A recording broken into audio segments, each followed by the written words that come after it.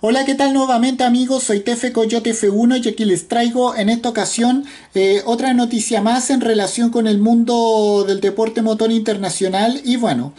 porque como sabemos sin dejar ninguna huella, el equipo Astara Team certifica sus emisiones de carbono neutras en el Rally Dakar y bueno, la apuesta pionera del equipo por los eh, combustibles eh, sostenibles, o sea, los sintéticos, eh, compensaron todo el CO2 que emitieron en las versiones, en las recientes versiones de 2022 y 2023. Bueno, sin más que decir, vamos a hablar un poco de aquello. Bueno,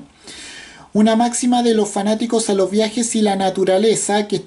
establece que antes eh, de marcharse de un lugar hay que dejar todo, todo tal y como se encontró al momento sin que quede una sola huella de cualquier paso y bueno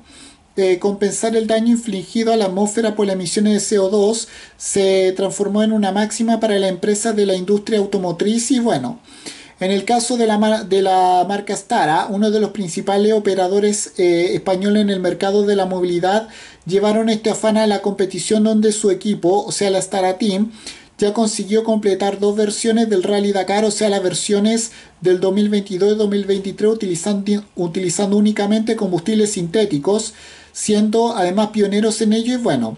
ahora el equipo Astara consiguió certificar la neutralidad de la huella de carbono emitida por este equipo eh, durante sus participaciones en la competencia de la competencia de rally más famosa y dura del mundo. Y bueno, un hito que viene a demostrar que eh, la competición sostenible puede existir más allá de los coches de competición totalmente eléctricos y sin perder un ápice de, de espectacularidad. Y bueno,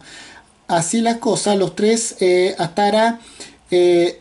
01 Concept eh, pilotados por eh, Carlos Checa, Oscar Fuentes y Laia Sanz emitieron un 70% menos de CO2 que un coche de competición común y corriente, totalizando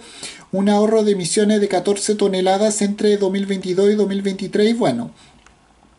por poner en contexto esta última cifra, sería equivalente a suprimir las emisiones producidas por 7 coches comunes y corrientes durante todo un año de uso tradicional y bueno, en total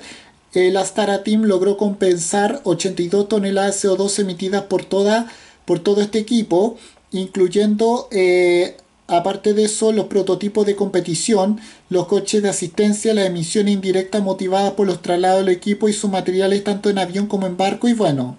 eh, estas últimas misiones, al no depender directamente de la labor de este conjunto español, eh, fueron las más difíciles de medir y, al mismo, y a la vez, o sea, al mismo tiempo, la más influyente en el resultado final porque para ellos la logística ocupa un 66% de su huella de carbono medida y bueno, bajo la certificación del organismo independiente AENOR, la monitorización de las emisiones durante la reciente versión del Rally Dakar se realizó con la ayuda de la plataforma Net Zero Cloud de Salesforce. Al mismo tiempo, el proceso de eliminación de carbono emitido eh, se efectuó con la colaboración de la empresa Puro Air mediante esta última compañía. El, don, el donativo compensatorio de Astara se va a destinar a un proyecto de material de construcción renovable en Finlandia llamado Ecovilla. Y bueno, y con esto me despido. Adiós, que me fuera. Chao.